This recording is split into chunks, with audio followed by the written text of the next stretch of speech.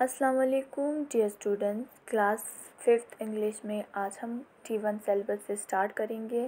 Chapter number six से finding the tooth brush on page number sixty one तो finding the tooth brush means आप लोगों को पता है कि टूथ ब्रश किसे कहते हैं। तो टूथ ब्रश को ढूंढना फाइंडिंग मीन्स ढूंढना। तो इस चैप्टर में हम पढ़ेंगे कि यहाँ पे जो फ्रेंड्स होते हैं, वो लोग हॉलीडे के लिए, छुट्टी मनाने के लिए जा रहे होते हैं तो वो लोग किस तरह से पैकिंग करते हैं? वाइल पैकिंग वो कौन कौन सी चीज़ें रख रखते हैं और कौन सी चीज़ें रखना भूल जाते हैं? तो इस तरह से ये चैप्टर हम इसी के बारे में पढ़ेंगे। ओके तो हम चैप्टर स्टार्ट करेंगे। The speaker and his two friends George and Harris are going on a boating holiday on the River Thames in England. Read on to find out how they managed to finish their packing.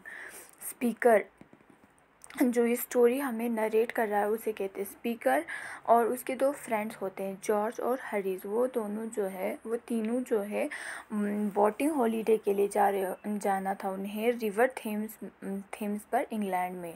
तो हमें ये पढ़ना है कि वो किस तरह से पैकिंग करते हैं, वो किस तरह से पैकिंग करते हैं। So we made a list of the things to be taken. The next day we got them all together and met in the evening to pack.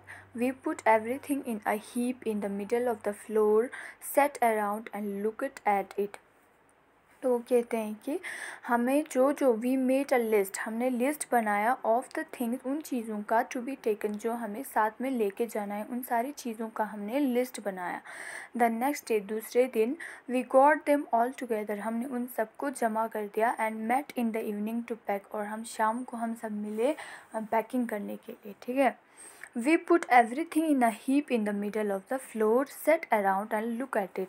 हमने सारी चीज़ें हीप में रखा। हीप मीन्स जब हम कपड़ों को पाइल करके रखते हैं बहुत सारे कपड़ों को जब जमा करके रखते हैं तो उसे हीप कहते हैं। उन्होंने फ्लोर के बीच में हीप बनाया कपड़ों का और वहाँ पे बैठ गए और उनको देखने लगे।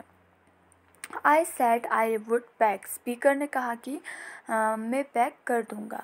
I am rather proud of my packing skill I took George and Harry that they had better leave the whole matter to me they agree to suggestion so readily that I was taken a bag George settled down in the easy chair and Harris put his leg up on the table.